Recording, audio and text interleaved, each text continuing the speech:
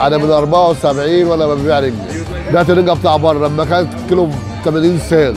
وبعتها لما كانت كيلو ب 40 جنيه. وبعتها لما كانت ب 100 جنيه. أنا بقى لي 44 سنة في الشارع ببيع رنجه هي الرنجه أصلا من سمك مستورد. بس متصنع هنا في مصر رنجة أم الخلول وفسيخ وسردين. أسعار كويسة ورنجة 100 100 و... والحمد لله رب العالمين يعني رنجة تشرف رنجة سوبر تصدير.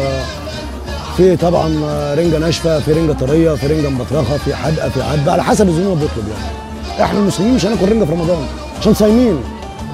فيعني هيبقى إيه قليل على نسبة البيع على الجماعة المسايحة بس. هوريكم إزاي الفسيخ بيتخلق في الأول بنقطع الراس كده عشان خاطر تدينا مساحة إن إحنا نشيله الجلد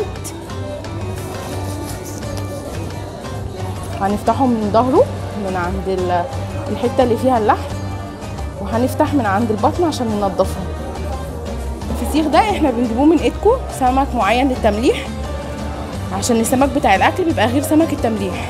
ده السمك بيجي طازة فريش وبعد كده بن- بنقمره لغاية ما بيقولوا عليه بيخمر. بعد كده نبدأ نغسله ونديله الملح بتاعه. كان بيجي شم نسيم قبل رمضان كان كله بيشتغل.